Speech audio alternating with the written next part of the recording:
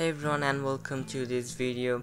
Today I'm gonna be showing you how you can create a installer or setup for your software that you created on Visual Studio.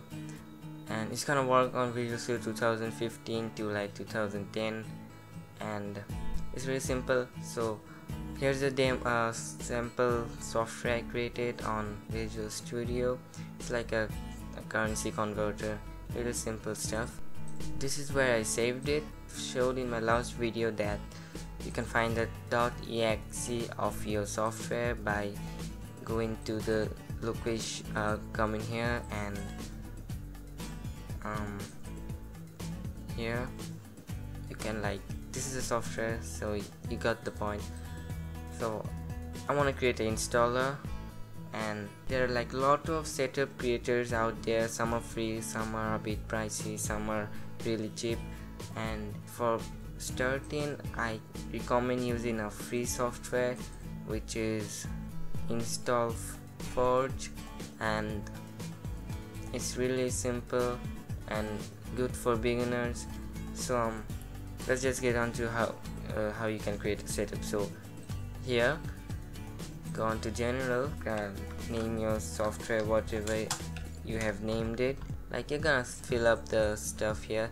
And the wizard image I've created one by default uh, I've created some default wizard images and stuff so you can create your own or you can choose from the list they have. And once you're done with that you can like it language and go on to setup. This is where you add the files. This is, really, this is the most important part of your setup so make sure you make it's, it's all okay. When you click on add files go on to this location here which is uh, and I'm gonna select all, all the files that are needed.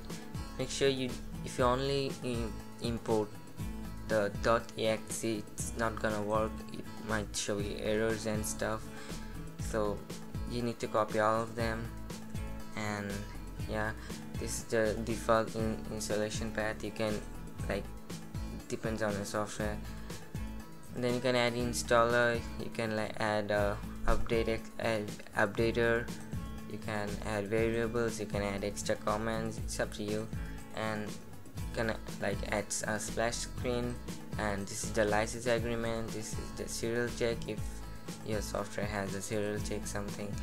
And this is after the installation is done what is gonna happen you can choose from here like and run program here load a DLL file it's up to you. Then you can add registries and shortcuts. After you're done like creating all of the things you need go on to build and click on this icon here and your setup will be created. This is the location where you're gonna save your setup.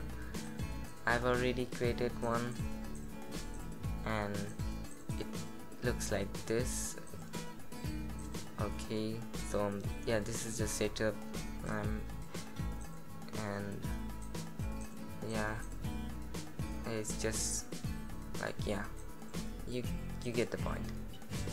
It's gonna yeah it's gonna install your stuff.